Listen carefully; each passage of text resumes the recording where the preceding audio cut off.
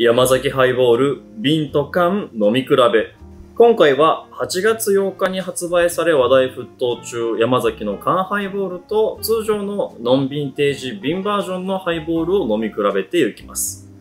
まずはノンヴィンテージ瓶バージョンからいただきます。おいし。フルーティーでベリーを思わせる香りに木のニュアンス、そしてほんのりとカカオやチョコを思わせるビターなニュアンスがございます。余韻にはバニラを思わせる甘さがあり大変美味しいです。続いて缶バージョンいただいていきます。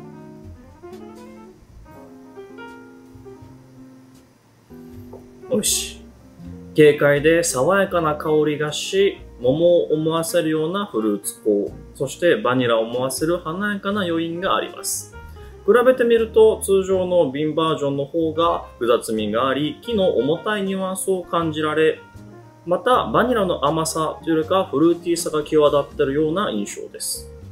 缶の方は軽やかで何ともすっきりと飲めます。余韻には華やかなバニラ香があり、ここが瓶バージョンよりもちょっと強いような気がいたします。こうして飲み比べてみると、缶ハイボールの完成度の高さを伺い知れ、好みに合わせて飲み分けるのが良い気がいたします。